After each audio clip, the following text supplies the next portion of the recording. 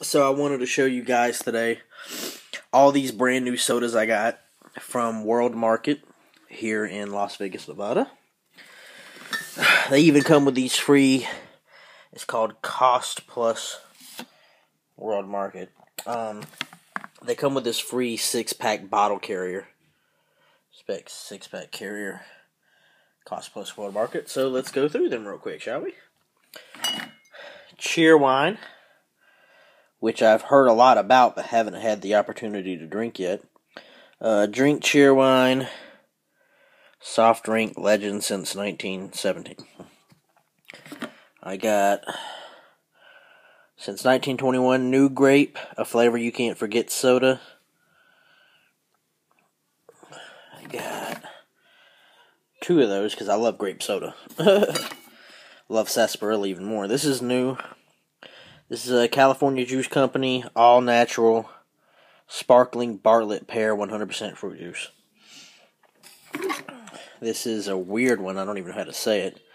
1936 Tymbark Jabico Arbuz. I have no idea what that means, but it shows a picture of an apple and watermelon.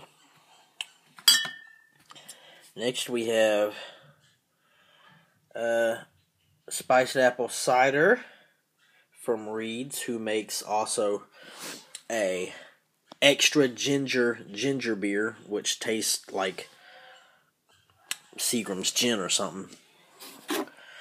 Um,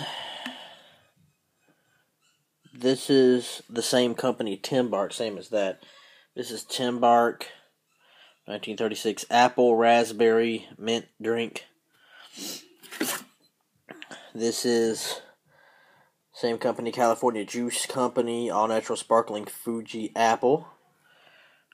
Hope you can get that. My kids are making a shitload of noise in the background. They always make noise, which drives me crazy. This is Swamp Pop uh, Praline Cream Soda from, it says Premium Sugarcane. This is another Swamp Pop Noble Cane Cola. This is another Swamp Pop uh, Satsuma Fizz. You know, these companies make multiple flavors. The thing I like the best about these old school sodas is that the majority of them are number one in a glass bottle, which for whatever reason tastes naturally better, and number two, it has pure cane sugar, which is good for you. Unlike drinking corn syrup, high fructose corn syrup, in a can, which is extremely bad for you. Plus, there's the potential of getting aluminum in your system. This is Swamp Pop Jean Lafitte Ginger Ale. As you can see there. Not that it's going to focus. And then, because I love it so much, I got six bottles of sarsaparilla. This is not Sioux City sarsaparilla.